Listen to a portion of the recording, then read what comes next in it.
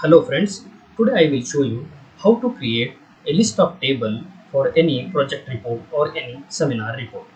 In, in my report, I have few tables.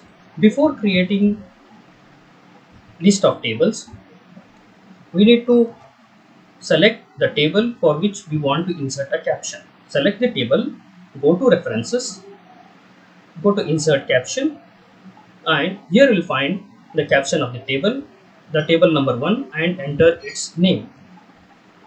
Here we can see its position. We can display the caption below or above the table. And now press ok. Similarly next move to the next table.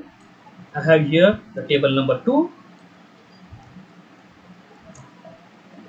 Select the table. Go to insert caption. Now it is table number two.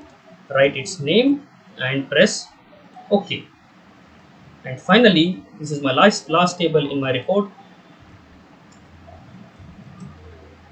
Select this table go to, go to insert caption. This is table number 3 and write its name. Press ok.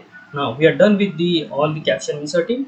Now it's time to create the list of table. In order to create the list of table go to references go to insert table yes here we can find the tab leader. Tab leader consisting of different dot lines dashed lines and the straight lines. Whichever you want you can choose it.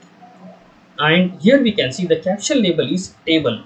When we choose as a figure it will display as a figure. Now we have chosen it as table. Hence the caption label displayed as table. Now press ok.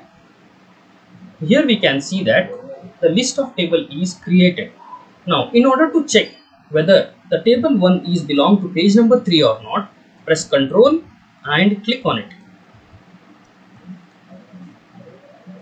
Yes, we can see that the table number 1 is in page number 3.